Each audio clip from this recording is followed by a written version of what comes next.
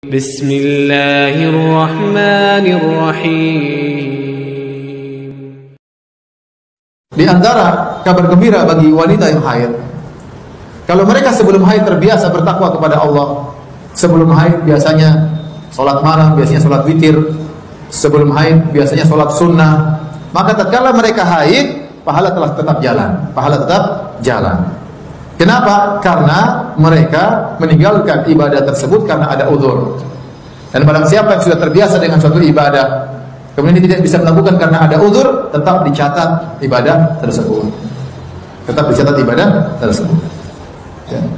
Oleh karenanya kata Nabi SAW, ya, uh, kata Rasulullah SAW, "Idza marada al-abdu aw safar, kutiba lahu ma kana ya'malu muqiman sahihan."